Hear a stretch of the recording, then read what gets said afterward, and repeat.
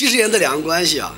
是两岸同胞啊打破隔绝啊交流合作日益广泛、相互往来日益密切的历史，是在九二共识基础上平等协商、求同存异、改善与发展两岸关系的历史。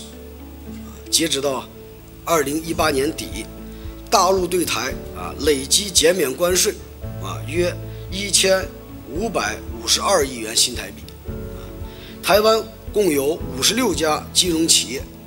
和一千零三十三家非金融企业啊，利用了啊利用啊早期收获的优惠政策啊，在大陆提供服务。两岸关系发展的历程啊，充分说明台湾是中国一部分啊，两岸同属一个中国的历史和法理现实啊，事实啊，是任何人、任何力量啊、任何势力都无法改变的。国家强大、民族复兴、两岸统一的历史大势，